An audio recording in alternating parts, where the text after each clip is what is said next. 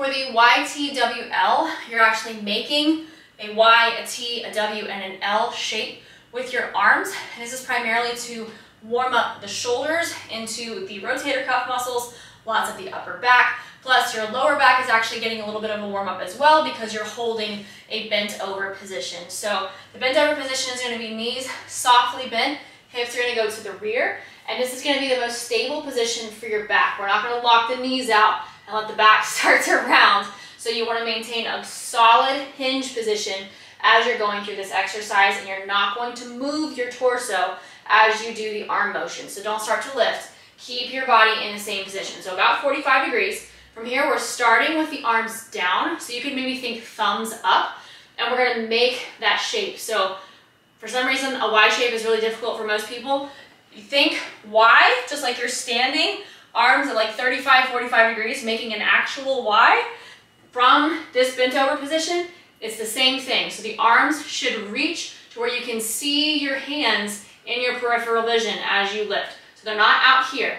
Lift your arms up and forward about 45 degrees and you'll feel right along in here, the shoulder blades are moving down and you're getting a lot of work on the back side of those shoulders as you're pulling the shoulder blades down, okay? So the Y shape is here and generally you're gonna do anywhere between five and 20 of those. And then once you get the Y completed, you move on to the T. So the T is just straight out to the side. It doesn't have to be anything fancy, just straight off of the shoulder. So from here, it's like you're doing a rear delt raise. It's basically the exact same thing, except that we may or may not be using weight here, okay? So we're not allowing the arms to shift forward because that's more like the Y. We're keeping the arms straight off to the side of the body, making a straight line from the shoulder, from the shoulders out to the hands, okay? So you might start to feel that a bit more in the rear part of the delt, you'll still feel the shoulder blades moving a little bit as well. So same thing, from there, usually between 5 and 20 reps of those.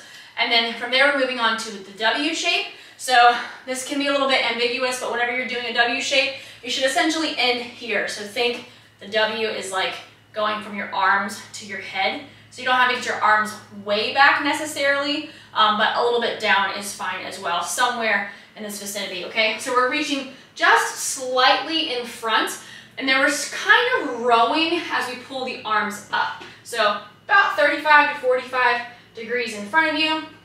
Arms are coming up and slightly back. So you'll feel the shoulder blades moving together once again. And you're also emphasizing pushing the arms back just a little bit. So a little bit of external rotation there. So almost like you're rowing. And that downward pull of the elbows will get you to feel a bit more of the lats. And then for the L shape, you're, you're specifically doing internal and external rotation of the shoulder. So you're keeping your arms straight off of the shoulders. Don't let them start to sag. Keep the arms in a straight line off of the shoulders and you're literally doing this motion. So these are your L's. You're just rotating through the shoulders. So uh, bent forward here. We're starting with the arms in internal rotation. Hands are down. We're rotating back just like this.